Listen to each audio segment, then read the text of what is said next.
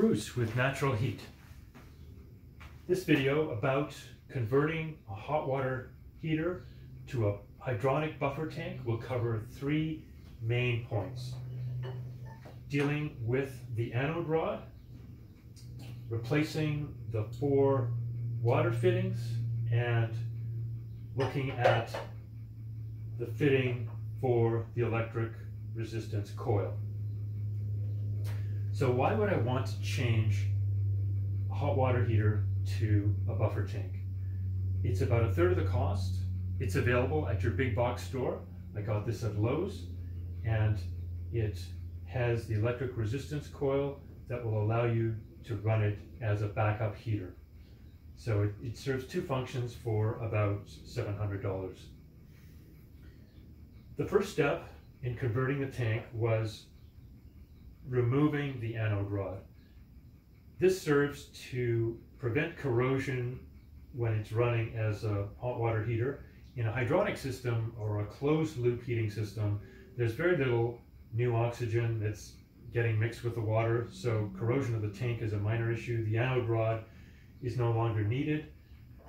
To get to the anode rod, there's a little cap with anode marked on it and it's foamed in place. You have to pick the foam out with a small screwdriver and then the socket for the top of the anode rod is 1 and 1 16th inch and it takes a lot of force to remove. The tank is going to want to swing around as you try and undo it. So I needed to brace my knee against this while I used two arms on a breaker bar to remove that. It was the toughest part of the conversion. Once the anode rod is removed, it's a perfect spot for an automatic air eliminator. And that goes in, of course, with threaded, uh, with tape on the, on the threads of the threaded pipe. It's a four inch piece of pipe with three quarter inch tapered thread you can get those pipe sections at a big box store for about $3 each. And that's the perfect spot for an air eliminator. There's about a four inch gap from the top of the pipe to the roof of the tank and bubbles will rise up and the automatic air eliminator solves that problem. The next fitting I removed was the pressure relief valve, and that was with an adjustable wrench. It came off with modest force. Unfortunately, you cannot re reuse this in your hydronic system. The pressure rating of this is 150 psi. The pressure rating on your hydronic system is 20 psi.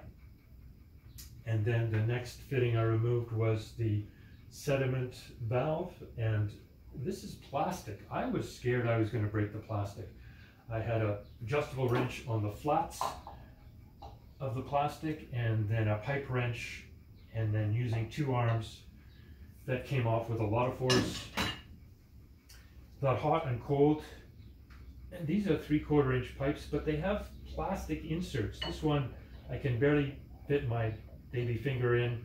So a fair bit of restriction to flow on both of those and they both needed a lot of force. I used two pipe wrenches so I could use two arms and they came out with a lot of force.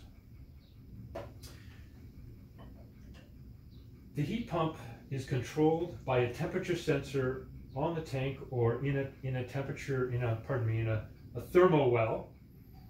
And this thermowell is simply a dead end pipe that threads into a bushing. And the bushing then, that's a, a one inch tapered thread and that threads into the one inch thread of the electric resistance coil. Now that's a straight thread and this is a, a tapered thread. So to get a good seal on that, and this is only 20 PSI, I'm using three or four turns with orange Teflon tape, and I'm using Pro Dope. I've used this combination on old radiators that had pitted and worn threads, and I was able to achieve a good seal with the combination of those two. And that is, oh, the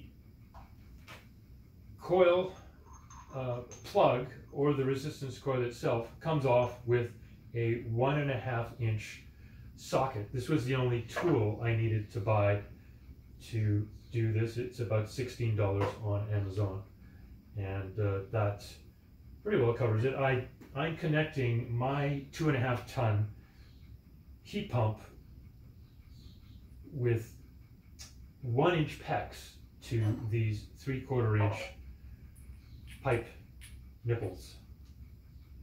And if you're running a larger heat pump, you will likely need to, to use larger connections for a higher flow.